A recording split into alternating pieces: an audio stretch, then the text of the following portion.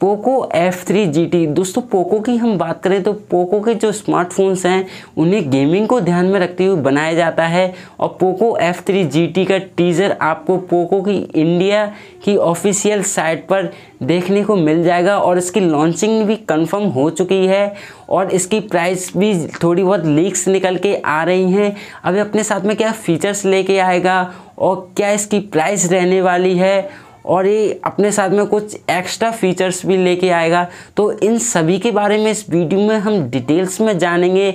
तो आप वीडियो को जल्दी से लाइक और चैनल को सब्सक्राइब कर लीजिए, क्योंकि इस चैनल पर आपको टेक्नोलॉजी से रिलेटेड वीडियोस हर रोज़ देखने को मिलती रहेंगी। तो लेट्स स्टार्टेड दोस्तों, इसके बिल्ड और डिज़ाइन की बात करें तो इसमें आपको ग्लास पैक दिया गया है और फ्रंट एंड बैक आपको गोरिल्ला ग्लास फाइव की प्रोटेक्शन भी देखने को मिलेगी। अब हम बात करते हैं इसकी डिस्प्ले की तो इसमें आपको 6.67 इंचेस की एक OLED full H D plus resolution के साथ विथ 120 ट्वेंटी हर्ट्स की रिफ्रेश रेट के साथ डिस्प्ले दी गई है, जो कि काफ़ी अच्छी डिस्प्ले है गेमर्स के लिए। अब हम बात करें इसकी रैम और स्टोरेज की तो इनमें आपको तीन वेरिएंट देखने को मिलेंगे।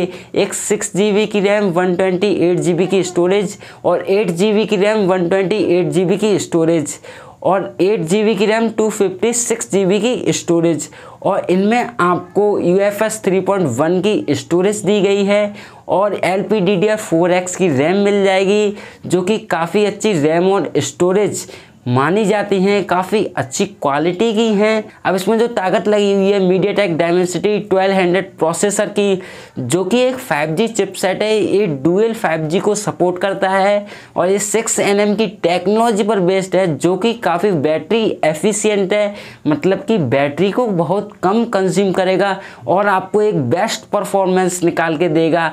अगर आप गेमिंग वगैरह ज़्यादा करते हैं तो आपको कोई भी इशू वगैरह नहीं आएँगे।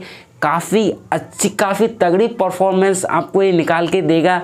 अब हम बात करें इसकी कैमरास की तो सामने की तरफ़ आपको एक 16 मेगापिक्सल का सेल्फी कैमरा और पीछे की तरफ़ आपको 64 मेगापिक्सल का प्राइमरी कैमरा और 8 मेगापिक्सल का अल्ट्रा वाइड लेंस 2 मेगापिक्सल का माइक्रो शॉट्स के लिए। तो ये काफ़ी अच्छी बात है कैमरा तो इन्होंने थोड़ा डिसेंट सा ही रखा है और ऊपर और नीचे आपको ट्रिगर्स बटन्स भी देखने को मिल जाएँगे। साथ ही हम बात करें इसकी स्पीकर्स की, इसमें आपको स्टेरियो स्पीकर्स देखने को मिल जाएँगे और एस डी कार्ड का स्लॉट यहाँ से गायब कर दिया गया है और ना ही आपको 3.5 पॉइंट mm का हेडफोन जैक जैक देखने को मिलेगा। साथ ही हम बात करें इसकी बैटरी की तो उसमें आपको 5065 एम की बैटरी दी गई है विथ 67 वॉट की चार्जिंग के साथ टाइप सी पोर्ट यहाँ पर देखने को मिल जाएगा। अब इसकी हम प्राइस की बात करें तो इसका जो वेस्ट वेरिएंट है six G B one twenty eight G B twenty seven या फिर ट्वेंटी एट थाउज़ेंड में आपको इंडियन मार्केट में देखने को मिल सकता है। अगर ये इस प्राइस से थोड़ा और कम होता तो शायद ये फ़ोन तबाही मचा सकता था इंडिया में। और जो रेडमी का के फोर्टी चाइना में लॉन्च हुआ था सेम वही फ़ोन आपको इंडिया में पोको एफ़ थ्री जी के नाम से रीब्रांड किया गया है। अब क्या ये फ़ोन इस प्राइस पॉइंट को प्रेफर करता है या फिर नहीं? दोस्तों सेंसर्स की बात करें तो इसमें आपको ऑल सेंसर देखने को मिल जाएँगे और लेकिन साइड माउंटेड आपको फिंगरप्रिंट सेंसर दिया गया। अब दोस्तों, इसकी प्राइस की बात करें तो आपको साइड माउंटेड फिंगरप्रिंट सेंसर मिल जाता है और डिसेंट से कैमरा हैं और लेकिन स्टेरियो स्पीकर और इसमें 3.5 पॉइंट mm का हेडफोन जैक भी नहीं है। तो शायद इन चीज़ों को देखते हुए मेरे हिसाब से इसकी प्राइस काफ़ी अच्छी रखी गई है।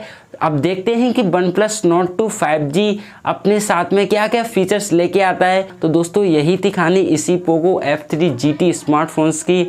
अगर आपको वीडियो अगर अच्छी लगी हो तो वीडियो को लाइक और शेयर कर देना। और चैनल पर नए हो तो चैनल को सब्सक्राइब कर लेना, क्योंकि इस चैनल पर आपको टेक्नोलॉजी से रिलेटेड वीडियोज़ हर रोज़ देखने को मिलती रहेंगी। तो जय हिंद जय भारत।